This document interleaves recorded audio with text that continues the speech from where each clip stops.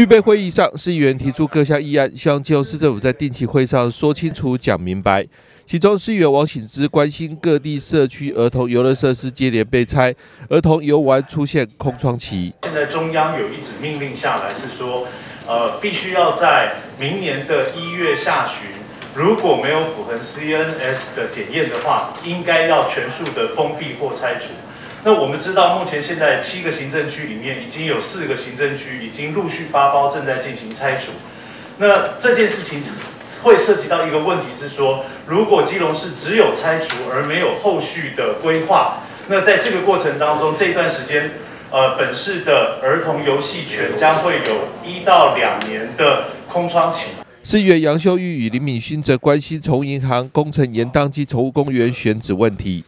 因为我想这个，因为这这经费相当的多，将近这个一亿的一个经费的展现计划，让让豪宅。那预计本来说在今年五月份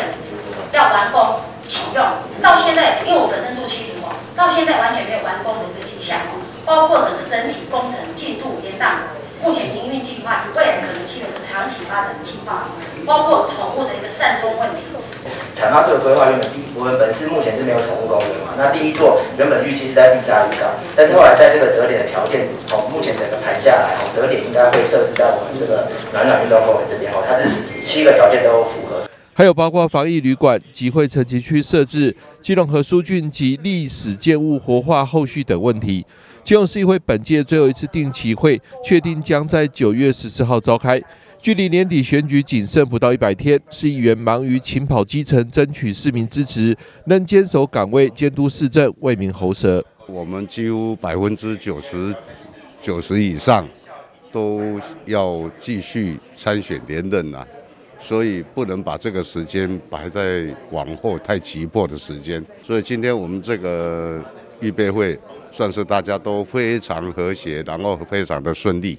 那也期待说，在我们这次的定期会，大家也能秉持这三年多来大家这种